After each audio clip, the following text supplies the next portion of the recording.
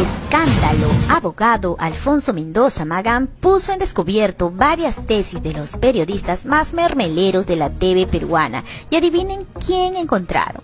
Más del 50% de sus tesis es plagio. Ahora, ¿qué dirán estos periodistas? Se someterán a investigaciones ya que esto es ilegal. Ocho años de prisión es la condena que tendrían que pagar.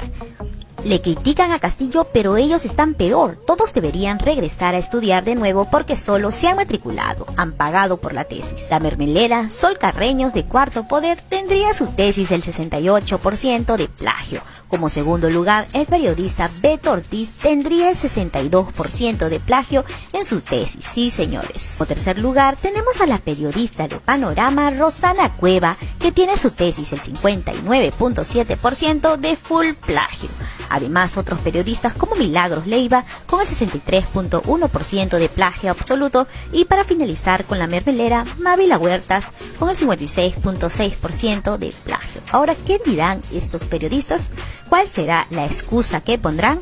Cabe resaltar que de acuerdo al software antiplagio Turnutin, 54% del trabajo académico presentado por la pareja presidencial presenta coincidencias con otros autores. La tesis para obtener el grado de magister presentada por el presidente Pedro Castillo y su esposa Lilia Paredes fue sometida a la lupa del programa antiplagio Turnitin por el programa Panorama. El resultado fue que el 54% del trabajo académico coincide con lo que escribieron otros autores nacionales e internacionales.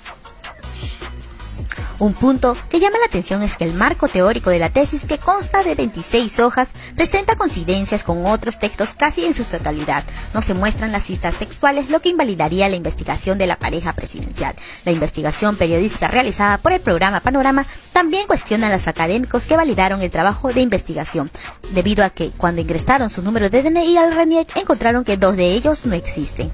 Pues fue así que también el abogado fue el software Turnutin para averiguar las tesis de los periodistas mermeleros y eso fue lo que encontró. Para que puedan entender un poco más sobre este software llamado Turnitin, donde se ha supuestamente comprobado que la tesis de Castillo y algunos ministros tienen más del 50% de plagio, el periodista Roberto Praga dijo esto.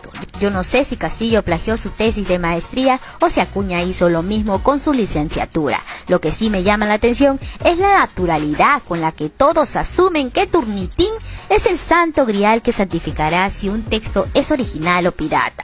El software en mención tiene algo más de 20 años y casi se ha vuelto en el estándar de facto para la certificación de la originalidad de una tesis. He asesorado una que otra tesis y me he topado con el sinsentido que es dejar todo a manos del algoritmo del Turnitin por ejemplo, refranes, giros lingüísticos, muletillas, etc. El software lo tomará como similitud con lo encontrado en sus repositorios, en manos inexpertas en su uso. Una frase cualquiera como el software lo tomará como plagio, incluso en manos inexpertas en su uso.